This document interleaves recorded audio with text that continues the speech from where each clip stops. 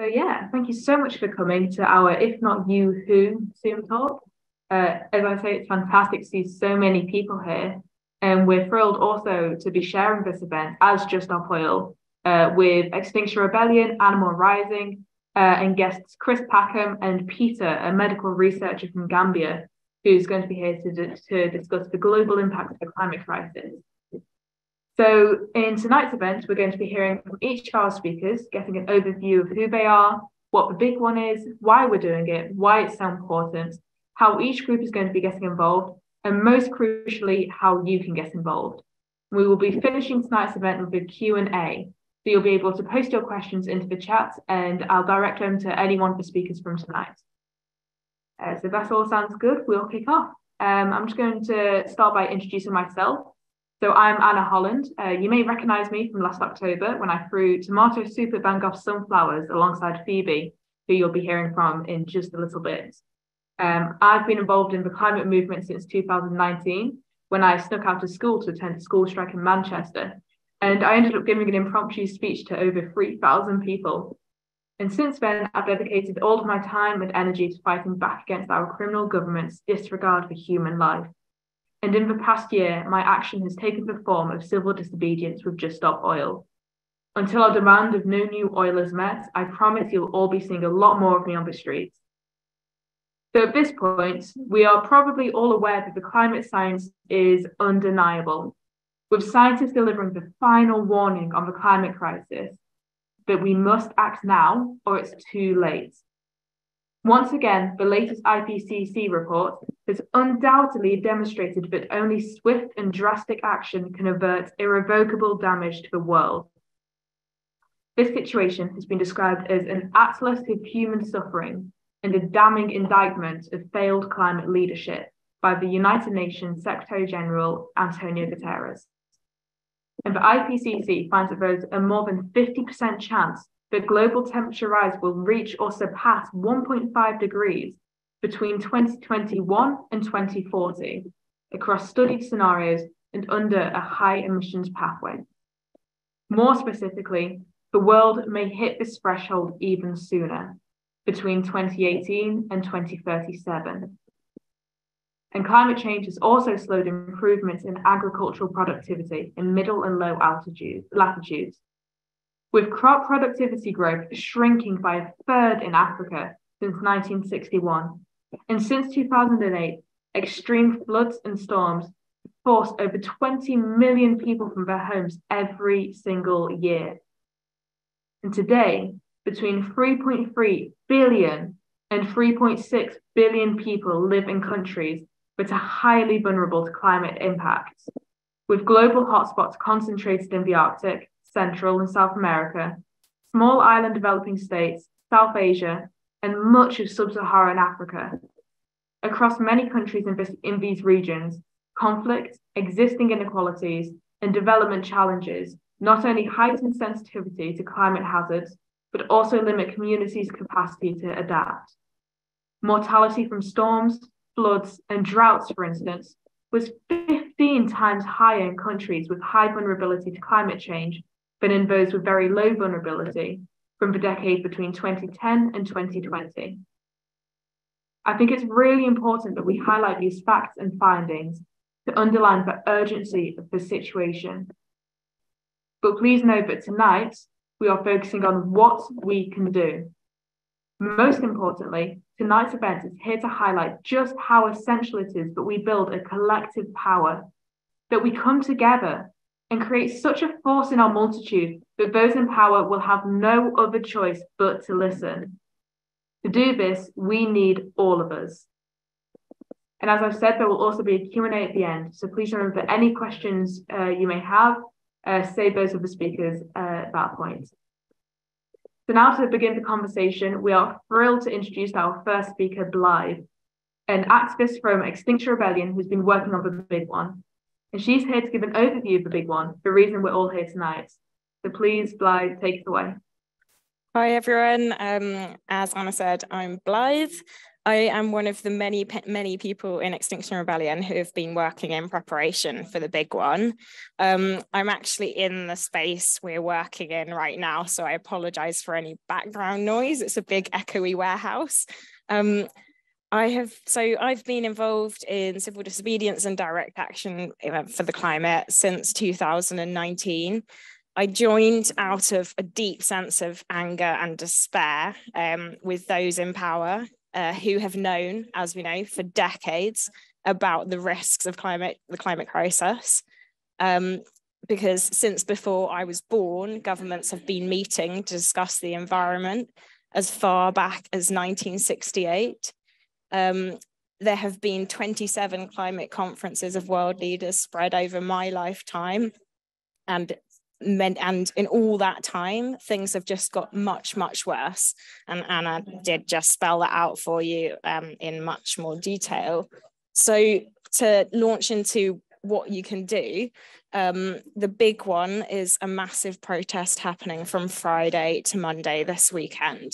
So to give you a bit of background um, uh, after um, at the start of this year extinction rebellion announced we quit. And what did we mean by that? What we meant was we were going to pause public disruption and switch to only disrupting the pillars of power. So, in the run up to the big one, we targeted the justice system, the finance system, the fossil fuel industry, and the media. And in the meantime, uh, Extinction Rebellion's relationships team worked incredibly hard to reach out to every single possible group they could think of to come along to the big one and support and grow the numbers because um, we'd seen that after the success of 2019, it started to look like numbers were flatlining. So it became really apparent that we need to somehow grow those numbers to, and to reach a way, wider range of people to become much more open and diverse and um, and open up to people who previously may have felt nervous to join the climate movement.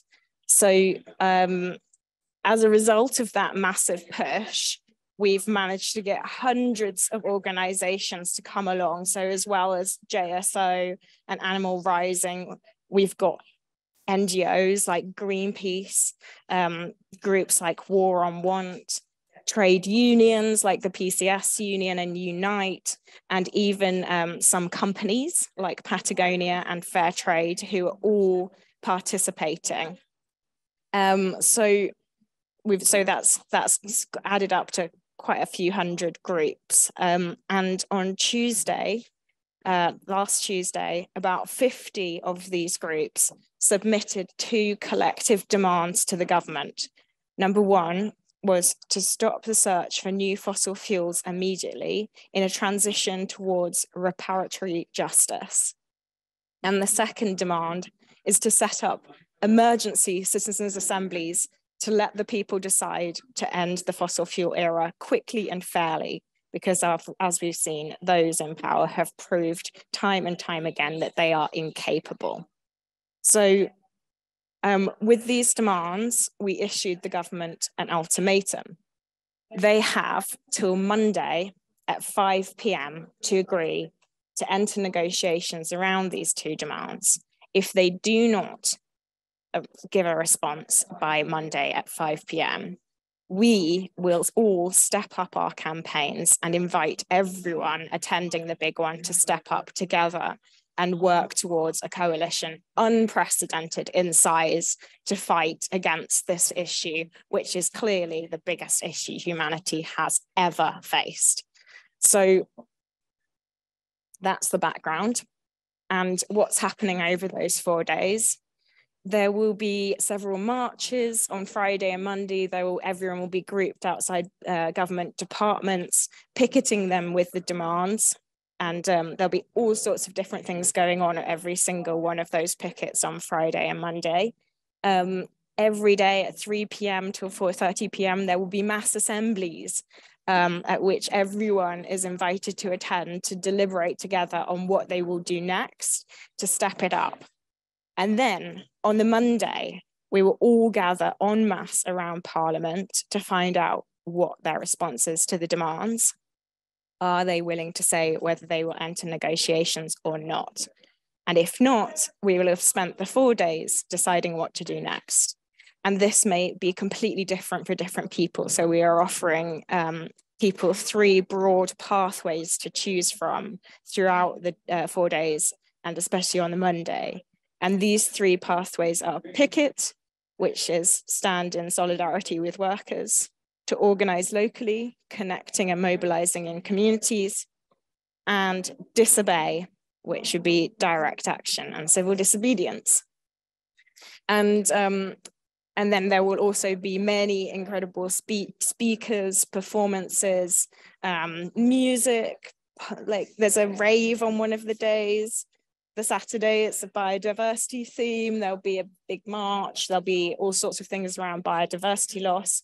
And then after all this huge accumulation of events, after the big, big one, um, if the government has not responded, if or when the government has not responded, because um, we do not have hugely high hopes they will, um, seeing as they haven't done anything for decades. Um, then after the big one, we will bring all the groups that attended around the table and decide how we can work together to step it up and grow an even bigger coalition.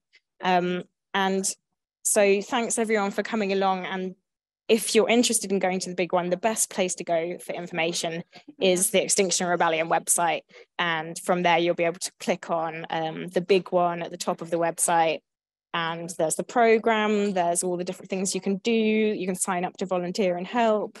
Um, it's not too last minute, and or otherwise you just turn up on the day. There'll be welcome desks, and hopefully they'll be guiding. They'll guide you to where to go. So that's me. I'll pass on to the next speaker. Thank you so much for that, Blyth. Um, next, we'll be hearing from Animal Rising uh, with Orla Coghlan, uh, who has a background in children's nursing and has been on the leadership team in Animal Rising for the past two years. Uh, she is here with us tonight to explain a bit about who Animal Rising is and what they're currently up to and how they're going to be involved in the big one. So please go ahead, Orla. Hi everyone, um, I'm Orla. I am a volunteer with Animal Rising. Um, Animal Rising is a group that started in 2019, kind of as a um, sister movement of Extinction Rebellion, um, but are very much our own kind of movement now, and we've transitioned to the name um, Animal Rising. You may have seen us at the weekend um, disrupting the Grand National, and we're taking these actions to our, our main focus is to shine a spotlight on the way that we're treating animals um, in the UK and we know that the way that we're treating animals is having an immense um, impact on biodiversity and on nature. And so we believe that if we can have a really public conversation about the way that we're treating animals, that we can um, hopefully not only restore our relationship with the natural world, but also um, mitigate these huge impacts of the climate crisis. Um, a small bit of, of background on the group. So we're primarily uh, involved in direct action, as you saw with the Grand National, um, but we also have other campaigns. We have a plant-based universities campaign where we're um, helping universities to transition to fully plant-based, and we've had several wins already, um, very exciting. And we also have a plant-based councils um, team that campaign um, towards local councils, such as like the Oxford um, Council are now uh, fully plant-based. Um, so we do, do a bit of a range of things, but obviously our primary action is direct action. Um, a small bit of background on um, what we have coming up and why we're doing what we're doing. Um, so as we know, there's a lot of action towards fossil fuels in the UK um, and around the world, but we think there's there's two huge um, pillars going on here with the climate crisis. We know that meat and dairy are also a leading cause of, of emissions, um, but they're also an immense um, immense, um, I guess, land use um, issue. We know that um, half of the land in the UK is used for meat and dairy. And if we can transition away from plant-based meats, um, or if we can transition away from meat and dairy um, towards a plant-based food system, one of the largest studies from a man called uh, Joseph Poore um, uh, from Oxford University has shown that we could rewild vast amounts of land. We know that the UK at the moment is one of the most deforested countries um, in the whole of Europe. And so if we can reforest, we can draw down huge amounts of carbon um, as well. And so that's what we're really about. Um, we're about creating change, not only for the individual animals. We know that we're killing a billion animals a year um, in the UK and 85% of those are factory farmed. Um, And so we're, we're one of the most recent studies that I find really shocking is if we continue fishing our oceans at the rate we are, um, then we will end up with fishless oceans as early as 2050. And so this biodiversity issue is absolutely immense and we know goes hand in hand with the climate crisis. And if we really want to resolve the climate crisis, um, we need to be um, having solutions that are that are nature first. Um, so um, we have a huge summer coming up. We have a summer of animal rising where we'll be taking direct action um, trying to raise awareness and create this public conversation about the use of animals and how we can um, transition away from that towards a safer, more sustainable food system. Um, so we'll be do doing other things like the horse racing um, action that we had at the weekend. We'll be doing more of those and we'll also be doing um, op open rescues of animals where we'll be bringing animals away from um, factory farms um, and slaughterhouses into safety. and we'll also be at the big one this weekend, very excited to be there. Um, we have uh, a nice program. If anyone would like to come and meet us, come and speak with us. Um, on Friday, we're going to be at the People's um, Picket outside DEFRA. Um, we have a new logo and new banners and everything, so it'll be very easy to recognize. Um, we're like kind of pink in color and we have this kind of a symbol um, on our banners. It's like an upside down A. So do come and say hi if you see us. Um, on Saturday, we will be at the Nature Rally and the Biodiversity March. Um, and again, we'll have loads and loads of flags with us. So come and say hello. On Sunday, we have a day of outreach um, at the around the marathon, um, trying to raise awareness about this conversation that we're trying to have. And then on um, Monday, we will be um, joining the fossil fuel march because we're very, um, very much pro uh, Extinction Rebellion and Just Stop Oil and their demands of moving away from fossil fuels because we're all really in this this huge fight together. Um, yeah, I think that's pretty much me. Thank you so much for that, Orla. Um, next up, we're going to be hearing from my best friend and partner in crime, literally, Phoebe Plummer. Uh, Phoebe has recently become a central and recognisable figure within the Just Oil campaign after they threw tomato soup at Van Gogh sunflowers. Uh, they have also been key in spreading the demands of Just Stop Oil. They've put their civil liberty on the line, but has been consistent in stating that they are not a criminal, they're just a scared kid trying to fight for their future. So with that, Phoebe, take it away. Hi, yeah, I'm uh, I'm Phoebe. I'm 21 and I'm a supporter of Just Stop Oil. And Just Stop Oil is a coalition of ordinary people, and we're demanding that the UK government ends all new fossil fuel projects and licenses. This is a basic yet crucial demand, and it simply echoes the advice spelled out by the United Nations, the International Energy Agency, and the Intergovernmental Panel on, on Climate Change. But we're done asking politely. Now we're demanding a right to life on Earth. We all know the climate science, and the long and short of it is if we don't act now, we're fucked. The politicians have been bribed, they won't save us. The media has been bribed, they won't tell us the truth. It's up to us now, ordinary people, to force the change we so desperately need. And this change won't come about from signing petitions, writing to our MPs, holding placards on the side of the road. We've all learned the hard way that these things are too easily ignored. Directly stopping the flow of oil can't be. Throwing soup on a painting can't be. Shutting down the M25 can't be. And I'm fed up of being ignored when it's my future that's at stake. We know the rapid social change must come from civil resistance, something history has proved effective time and time again. Women did not get the vote by voting on it. Instead, the suffragettes slashed paintings. They smashed shop windows. They disrupted business as usual, and they demanded the right to vote. In just over a year since Just Stop Oil started its campaign of blocking oil infrastructure, stopping traffic, and disrupting cultural events, we've had huge wins. All major political parties, other than the zombie Tories, have adopted our demand. We've seen major banks, HSBC, Lloyds, and NatWest, all agree to stop investing in new fossil fuels. Our actions have received huge publicity forcing the greatest existential threat to human life to the forefront of public consciousness. But we're not done, and we won't stop until we win. But we still need more people to join us. We won't win this until we wake up and realize it's up to us, to take us off what the United Nations has called a highway to climate hell. It's why we need everyone on the streets of the big one this weekend. Everyone with any love, empathy, and common sense needs to be there. Because if we don't force change now, we're accepting a future filled with storms, wildfires, floods, drought, crop failure, famine, and war. Because if we don't force change now, we're condoning a government that is actively planning the deaths of hundreds of millions of people. Often I've heard people talk about a moment when they first became aware of the climate crisis, but being 21, most of my life I've heard people talking about it. A bigger realization for me was that I had to be the one to do something about it.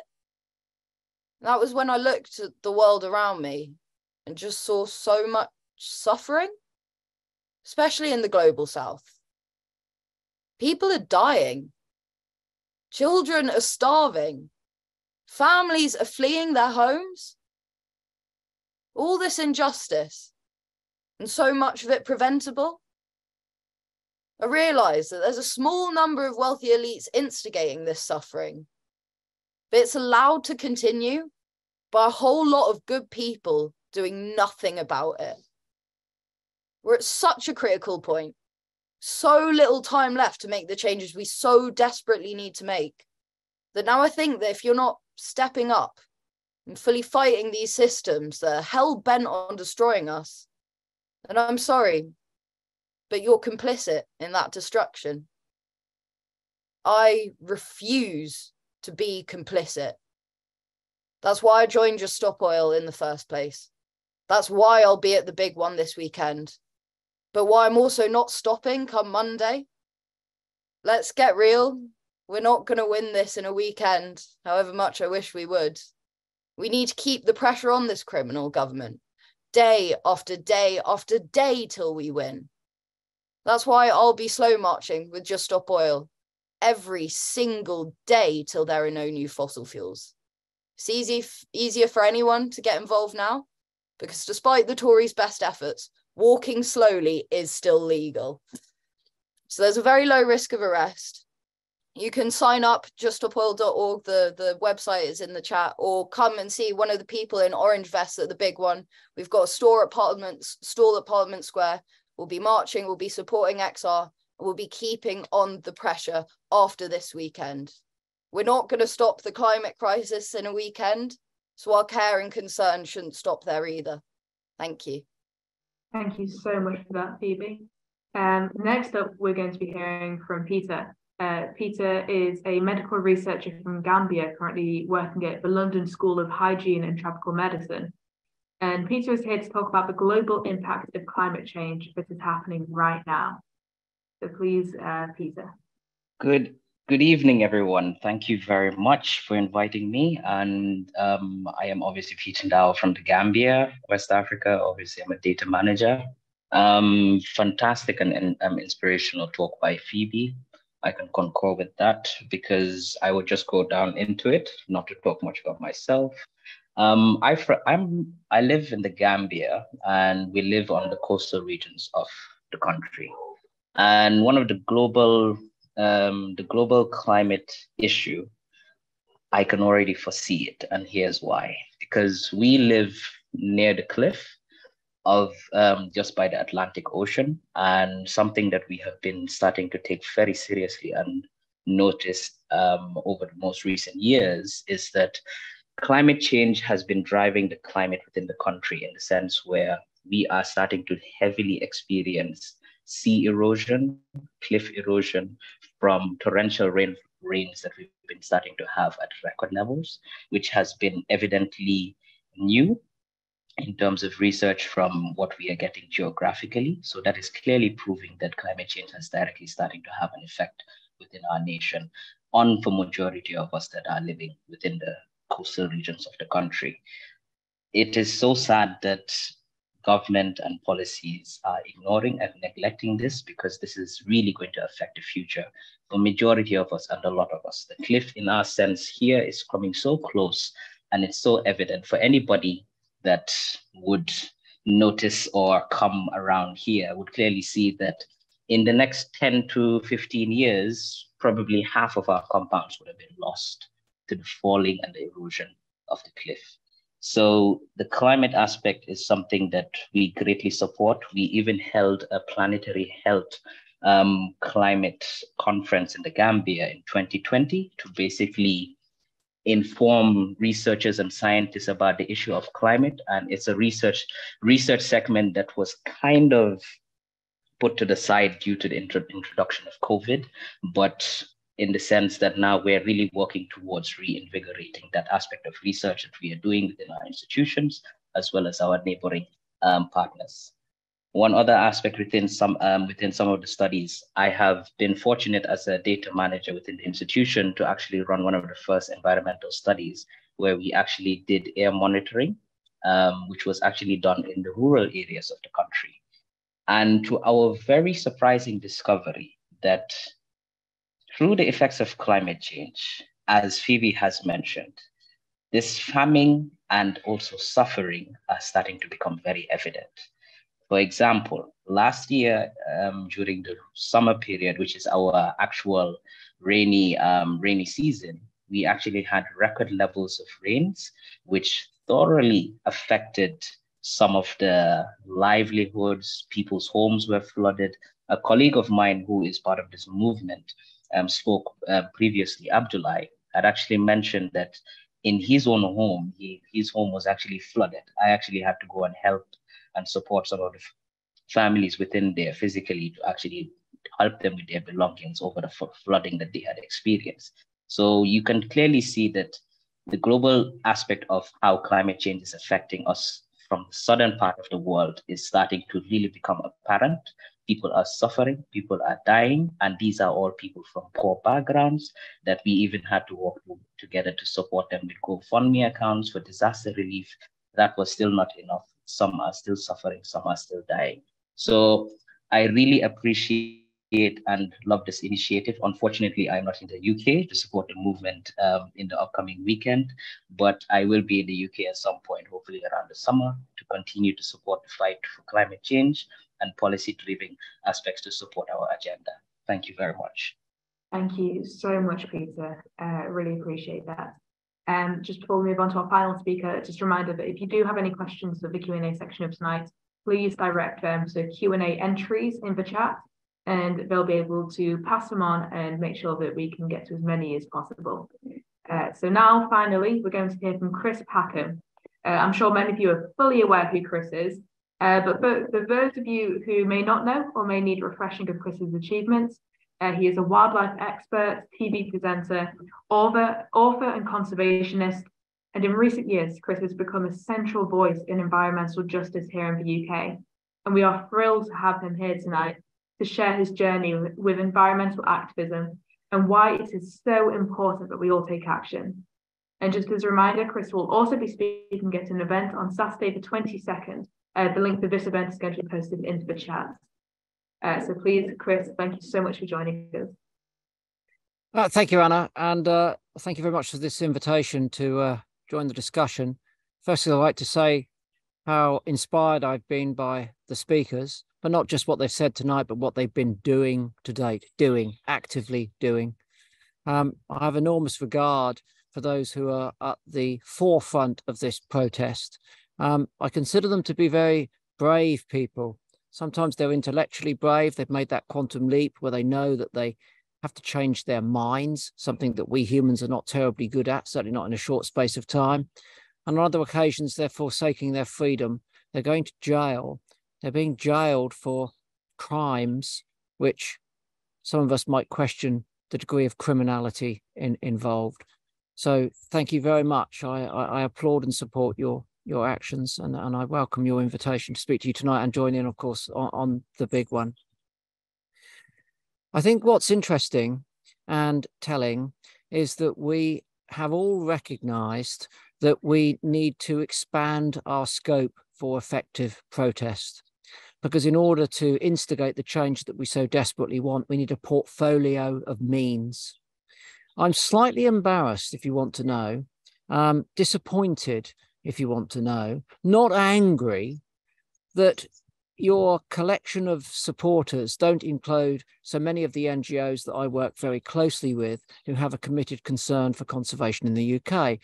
Um, I therefore list the RSPB, the Wildlife Trust, and so on and so forth, because I know that within the ranks of those organizations, there are people who are obviously as gravely concerned about the plight that we face um, globally in terms of climate and biodiversity as those conservation projects that they so wholeheartedly support in the UK. But I'm disappointed that their leadership have not aligned this weekend to make sure that they are present at the big one. The big one, as you've heard at the very outset, is an opportunity for us all to find our feet and voices. What we're in doing, we're inviting people to come to our capital and to listen and learn and think about how we can best influence positive change, whether that is through non-violent direct action, whether that's through throwing soup at paintings, whether that's through slow marching, whether that's through, frankly, campaigning at any other lower level. We've got to find that point where we all step up. We take one step at this point beyond our comfort zone. We might have been signing petitions. And I would argue that some petitions are valuable. They generate a sense of involvement, they build a sense of community. If they're used properly, they can generate noise and conversation and creative dialogue. But you're right. Sometimes it's all too easy to spend three minutes sticking your name in a box with a postcode. And frankly, maybe not enough happens rapidly enough. And what we've heard from our speakers tonight is that we need that rapidity because we are in deep, deep, deep shit.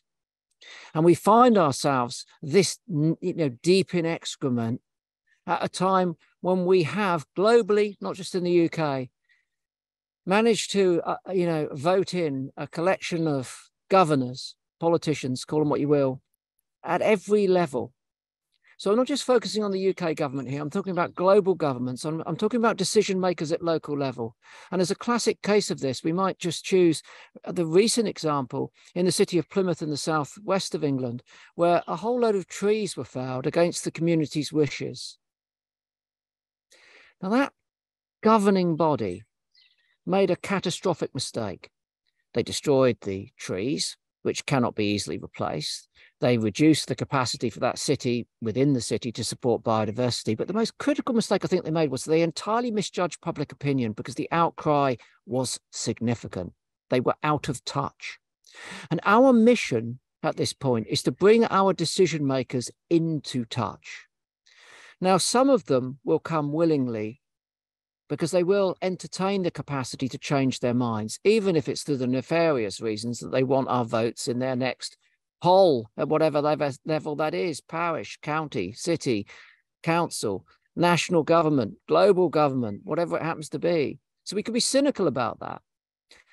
But nevertheless, we just need them on board. We need them to make those changes. So I'll forgive their cynicism so long as we get a result. I'm interested in results.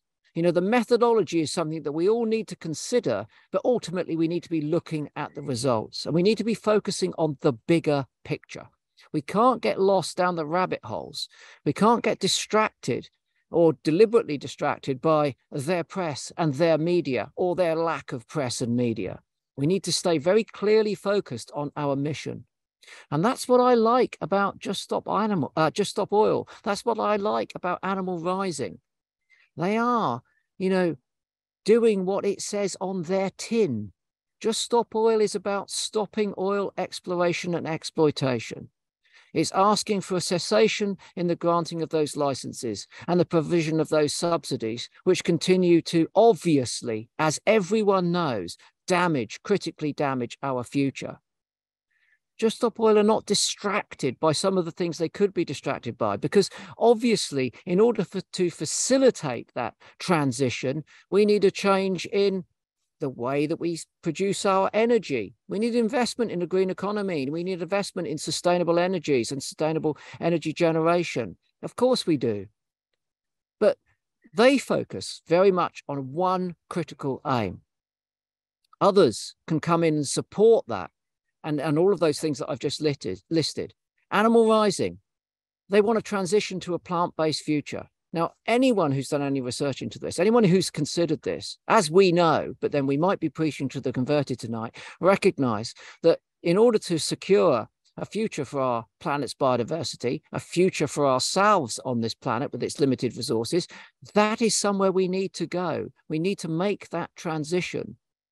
And of course, there will be many changes that needs to be instigated, but Animal Rising are clearly focused.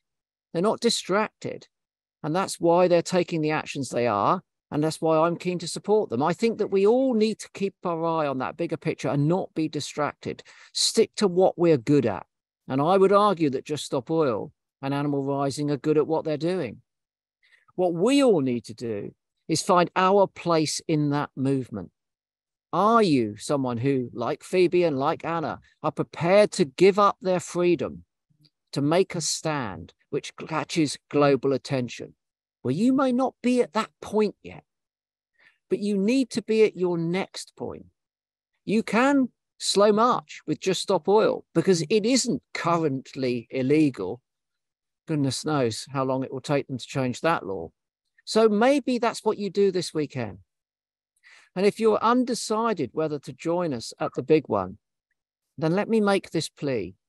Consider it like a trip to a, an art gallery, a museum, a, a library, somewhere where you can come and learn somewhere where you can fuel up on others' energy, determination, ambition, bravery, all of those parts of the human character which we revere so much. Because I know for sure that through the course of the weekend in London, I'm going to be inspired, uplifted, comforted, reassured, you know, my anger will be suppressed, my anxiety will be suppressed because I will feel part of a community that has decided to take action. And that's what we all need to do. And what I like most critically about the big one is that it's an invitation to take action on whatever level you choose to do so. It's not like the semi old days where the mantra was to be arrested. You can if you like, but you don't have to. And I think that what's so critical about that is that this is a time where we're taking stock, we're reappraising how we confront this, because none of us here tonight are secure that we are winning. We're making progress. Of course, we're making progress. We've seen significant progress. I would argue that what Animal Rising did at the weekend was significant progress. It got press all over the world. And despite the lunacy of the right wing press, you know, um, the fact of the matter is that they were ethically and morally right.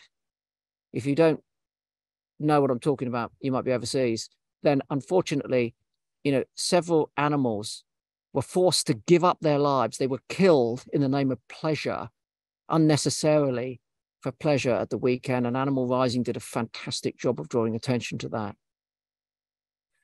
So please join us.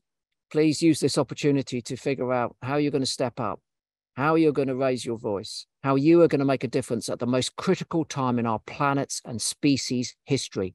Because at some point in the future, you may be elderly if you're lucky, and a young person, maybe a relative of yours or someone you might care about and love, might come up and touch your knee, and they might just ask you, What did you do when it really needed to count? And if you can't look down at that young person who will be living undoubtedly in a very much modified and more difficult world. If you can't look down with a clear conscience and say, I did what I could at that point, then I don't want to be you. Thank you. Thank you so much, Chris. Uh, as always, it is such an honour to have your support. It really it means the world to us. Um, so yeah, thank you. Um, now we're going to move on to the Q&A section of this talk. So we've had a few questions come in and I'm just going to read them out and direct them to uh, just whoever may be best at answering. Uh, so the first question we've had come through is due to some severe mental health issues I'm suffering, I can't get out and take action. What can I do to help from my home? Uh, Blyth, would you like to take this one? Hi, yeah, I think this is a really important one because many, many people are in this situation for lots of different reasons. Um, so we we obviously we want everyone to be able to be involved in the climate movement and any movement. Um, so um, specifically at the big one, um, there's multiple things you can do. Um, notably, if you to take part in the assemblies happening daily, um, there is a web page which I'll, i can drop in the Zoom chat potentially in a bit, and you can go and you can participate digitally. Um, and um, and there's many more forms of digital action that you can take via that website, and I think this is absolutely crucial. Um, uh, so yeah, explore the website, and um, I'm sorry that you're suffering at the moment. I'll pass on to the next question. Yeah, thank you so much, Blyth. Um, it's the power of modern revolution that we are all constantly online. So there is absolutely still avenues for you um, in that circumstance. And um, so the next question we have is, is the big one the only way to try and make big governmental change? It feels like nothing is working and nothing will work. How do we get through to the general public who care about the climate but do not do anything about this? Uh, Phoebe, would you like to answer this one? Yeah, um, so I don't think, like I said, I don't think that we're going to win this in this weekend. I think our hope is sustained pressure. And as Chris said, all of us stepping up to do what we feel we can do more. For many people, that will just be coming this weekend. Somebody who's maybe been involved in the climate movement, maybe they think now it's ready for me to go and get arrested or to make that step of high stakes action, which might win, which might risk going to prison. I think we all need to be doing everything we can, where we can, when we can, because they're not going to give in like that. We need pressure from all sides, from all angles to keep this going. The next one, um, Chris, if you'd like to answer this one, um, it is why haven't other conservation groups aligned themselves with the big one? Well, I wish I could give you a direct answer to that. I, I, I haven't spoken to them personally. Uh, earlier in the year, I was organising a, a, smaller big one, a little one, uh, which was a walk for wildlife. It was derailed, if you'll forgive the pun, by various rail strikes, and we decided not to run it. We will do so at some point in the future. Um, uh, uh there was enormous anger from RSPB Wildlife Trust and National Trust. Um, they launched a hashtag uh, attack on wildlife, and we yeah, this was through a port, you know portfolio of concerns where government were in a position to act in properly when it came to conservation of nature in the UK. Um, they're very cautious. They're very conservative with a small c. Um, they're very dependent or appear to be very dependent on their uh, membership. They're quite corporatized uh, on that way. Um, and I understand some of that and I'm sympathetic with that. They need to run long-term conservation projects. You, you know, they can't go bust in five minutes or there will be an enormous amount of damage done to our our biodiversity, and they and they are doing everything they can. I, you know, I, I'm also supportive of all of these organisations. I just think, frankly, they need to find some more balls, frankly, and and and and if they would just ask their members whether they wanted to get involved, not direct them. If they would just send out emails and give their members a choice, then I think that would be a little bit more uh, democratic. I mean, in all honesty, um, I get a, a fair bit of abuse for supporting Just Stop Oil and Animal Rising on my social media platforms. And a lot of the uh, followers that I have are obviously people like myself who are keen supporters of those NGOs and will remain so. Um, they don't get the message yet. But what we know statistically is that we only need 25% of people to get the message. We don't need to win all of society. We don't need everyone. We need 25%.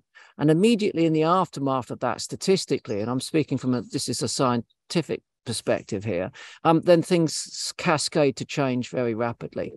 So we don't have to worry about converting all of those people um, to a point of understanding and demand and, and, and aligning with us on the demands that we're making to our, our governments across the world. We just need 25%.